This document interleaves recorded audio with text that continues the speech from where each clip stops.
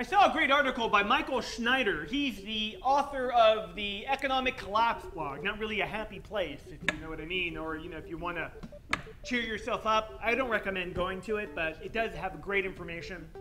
The top 21 signs that this could be a long, hot summer for the global financial system. What are those 21 signs? Let's get into them right now.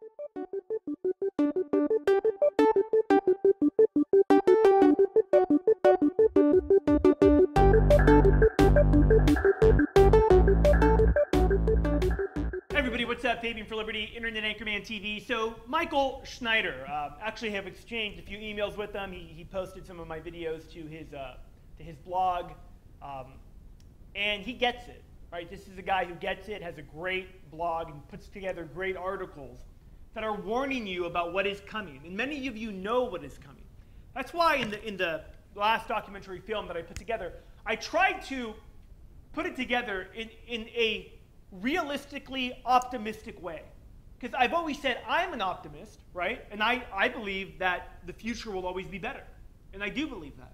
that I mean, it doesn't mean that it's going to be cheerful times always.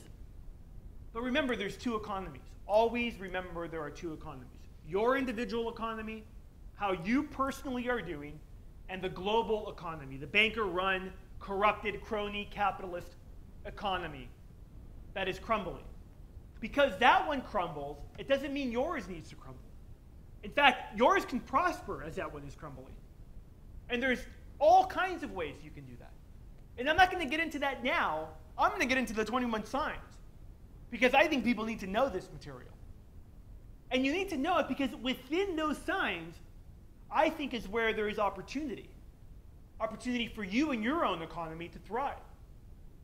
I want to clarify before I get into one of these points, one of the comments that I made in that how to documentary, which was where you're getting your advice from. Are you getting it from someone, you know, other YouTubers that are in their parents' basement? And let me just say, there's a lot of people living in their parents' basement that are good, honest, decent people that are working hard and aren't losers, aren't, you know, they're, they're good people. What I meant by that was, where are you getting your advice from when it comes to your own personal economy, your own investments, how you're thinking about creating more wealth? Because I'll tell you, this time between now and the collapse and after, one of the most important things that you can do that I never hear mentioned in any of these get prepared for what's coming videos is how you can make yourself more valuable in this new economy. Because make no, make no mistake. It's why I quoted Eric Hoffer in the beginning of that documentary. It's for the learned. It's the people that continue, continue to learn about stuff.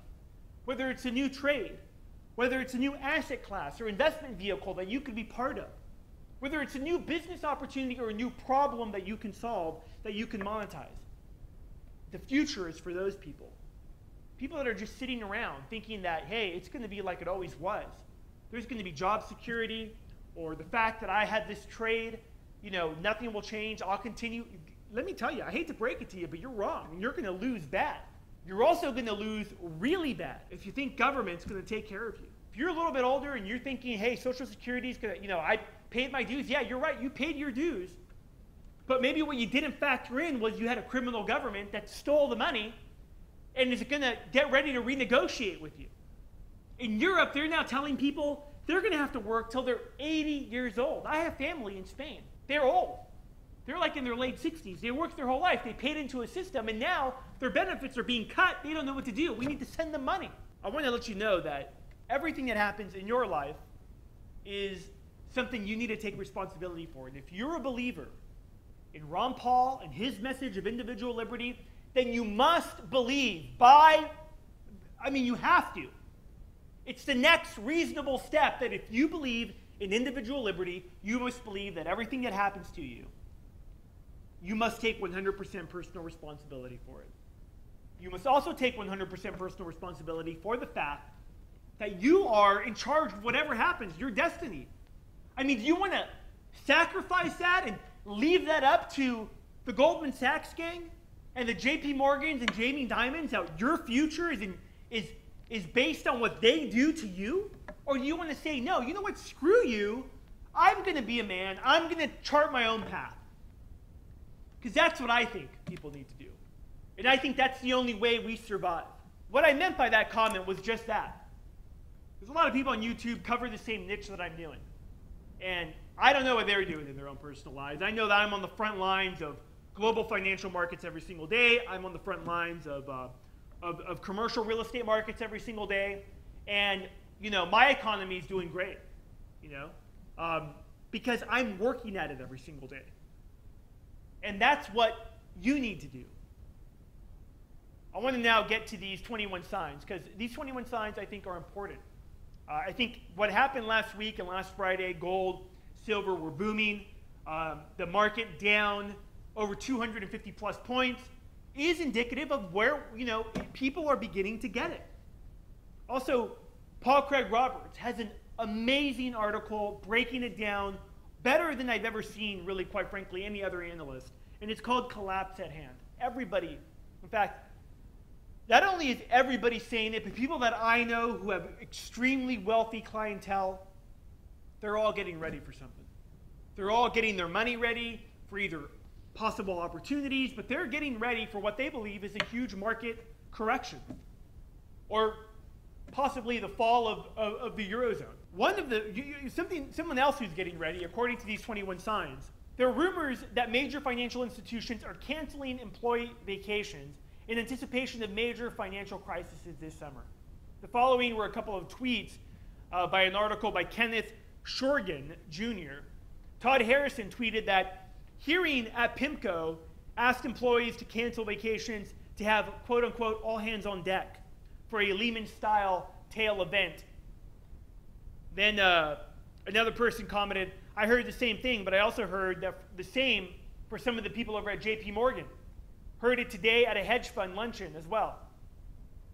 Number two was the Bank of International Settlements is warning, warning that global lending is contracting at the fastest pace since the 2008 financial crisis. Banks don't trust each other because they don't trust each other's balance sheets. There's no trust in the system. It's the number one. It's the number one thing needed in any market is trust. If you don't trust the counterparty, then how can you do business with them?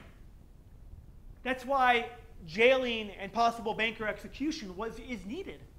It's the only way we instill trust. If we were doing that, if we were putting these people on trial, then the other people globally would say, okay, well, hey, they're purging the bad people, they're in jail. They can't do that because the very criminals that are responsible for this are the ones that have to prop up this fraud and milk it for as long as they can. Here's a few other points. Unemployment at the Eurozone brand new all time high. Number four, government of Portugal just announced it will be bailing out three more banks. Ask yourself, how much longer can that go out, go on, and how long have you been hearing about the bailing out of the banks? I mean, it's that it's been going on for four years now. They keep bailing out more and more banks. Where are they getting the money to do it? And the list goes on. I'll post this article. Stocks in Japan hit a 28 year low on Monday. Uh, U.S. job growth in May was well below expectations, and unemployment has increased to uh, 8.2%, if you even believe those numbers. It's estimated that there are $273 billion of failed real estate loans in the Spanish banking system alone. Now, $273 billion of failed real estate loans in the Spanish banking system. Think about what a huge number that is and what that means to Spanish banks. In real estate in America, there's estimates between 1.5 uh, to maybe 2 trillion in just commercial debt coming due in the next five years, a majority of it underwater, uh, and those people can't repay those loans. In housing, estimates range between 2 million to 10 million homes in America underwater in likelihood of there being a default.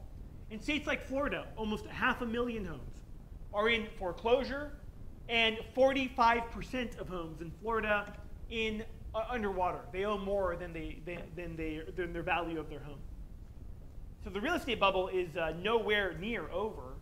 Um, in fact, it's it's going to continue to have problems as long as people can't find work, and as long as inflation pressures are hitting the consumer with essential foods and gas and all that other stuff that they need to survive.